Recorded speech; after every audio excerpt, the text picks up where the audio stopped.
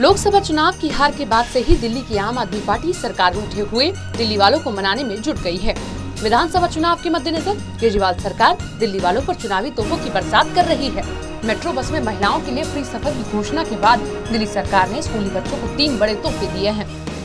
शिक्षा मंत्री मनीष सिसोदिया ने ऐलान किया कि बोर्ड परीक्षा के लिए दी जाने वाली पंद्रह सौ रूपए की फ़ीस सरकार भरेगी। सरकार के इस ऐलान से दिल्ली के सरकारी स्कूलों में दसवीं और बारहवीं क्लास में पढ़ने वाले करीब तीन लाख बच्चों को फ़ायदा मिलने की उम्मीद है। जो बोर्ड की फ़ीस बच्चों को देनी पड़ती थी, डेढ़ हज़ार रुपये आज बच्चों ने सवाल उठाया कि जब सरकार हमारी फ़ीस भरती है तो हमें सीबीएसई से अलग से क्यों फ़ीस देनी पड़े? अब उसमें एस सी कम्युनिटी के बच्चों को पचास रुपये फ़ीस और बाकी सबको डेढ़ हज़ार रुपये फ़ीस देनी पड़ती थी झुग्गी में रहने वाले गरीब आदमी इवन अनोथराइज कॉलोनी में रहने वाले लोगों के लिए डेढ़ हज़ार रुपये फ़ीस भरना भी आसान बात नहीं है। तो इसलिए आज सरकार ने यहीं पे स्टेज पे बच्चों की मांग पर तय किया कि डेढ़ हज़ार रुपये सरकार की तरफ़ से भरे इसके साथ ही सरकार ने आर्थिक आधार पर स्कॉलरशिप देने का फैसला किया है। जिस परिवार की सालाना इनकम ढाई लाख और छह लाख के बीच है, उन्हें फ़ीस का पच्चीस फ़ीसदी स्कॉलरशिप के तौर पर मिलेगा। जिन परिवार की सालाना इनकम एक लाख से ढाई लाख है, उन्हें पचास फ़ीसदी स्कॉलरशिप और जिस परिवार की एक लाख से कम सालाना इनकम है, उन्हें सौ फ़ीसदी स्कॉलरशिप दी जाएगी।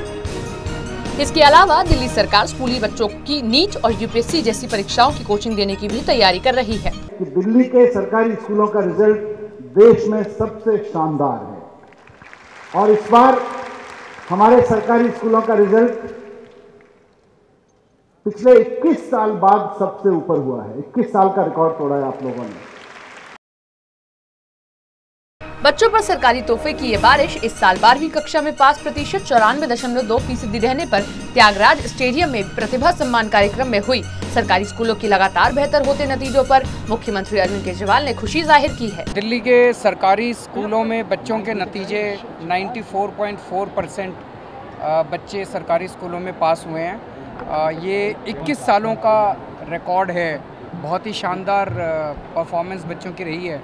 और आज जिन बच्चों के 90 परसेंट से ज़्यादा नंबर आए थे, उनके साथ हम लोगों ने मुलाकात की।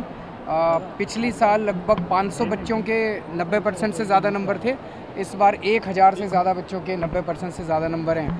आज उनके सभी पेरेंट्स वगैरह आए हुए थे और ये बहुत खुशी की बात है कि दिल्ली के शिक्षा के क्षेत्र में इतने क्रांतिकारी परिवर्तन महज चार सालों में देखने को मिल रहे हैं। इस साल दिल्ली सरकार के स्कूलों में बारहवीं क्लास में पढ़ने वाली एक लाख उनतीस हज़ार बच्चों में से रिकॉर्ड तोड़ चौरानवे दशमलव दो फ़ीसदी बच्चे पास हुए, जबकि पिछले साल बारहवीं क्लास का पास प्रतिशत नब्बे फ़ीसदी रहा था वहीं सरकारी स्कूलों के हज़ार ऐसी ज़्यादा छात्रों ने परीक्षा में सौ फ़ीसदी नंबर हासिल किए। इस साल नब्बे फ़ीसदी लाने वाले छात्रों की संख्या में भी ज़बरदस्त इजाफा हुआ है। पिछले साल 638 स्कूलों में 90 फ़ीसदी पास प्रतिशत था। तो इस साल सात स्कूलों में 90 फ़ीसदी प्रतिशत रहा। सरकारी स्कूलों के अच्छे नतीजों के लिए स्कूल प्रिंसिपल में बेहतर इंफ्रास्ट्रक्चर और गेस्ट टीचर्स की भूमिका को सबसे बड़ी वजह बताया जा रहा है। आ, हमारे यहाँ 100 परसेंट रिज़ल्ट है और ये फोर्थ टाइम है लगातार जो 100 परसेंट रिज़ल्ट ट्वेल्थ क्लास का आ रहा है। 100 परसेंट रिज़ल्ट टीम की वजह से मेरी टीचर्स की टीम स्टूडेंट्स की मेहनत, ये सब मिलकर जब रंग लाती है तो 100 परसेंट दिखता है। और हम सब की मेहनत है जो ये रिज़ल्ट आया है। इस चुनावी मौसम में दिल्ली सरकार बच्चों की इस कामयाबी को बनाना चाहती है। तभी तो सरकार को नतीजे घोषित होने के कई महीनों बाद बच्चों की प्रतिमा और चुनावी तोहफे देने की याद आई है। Kuldeep Sharma total news Delhi.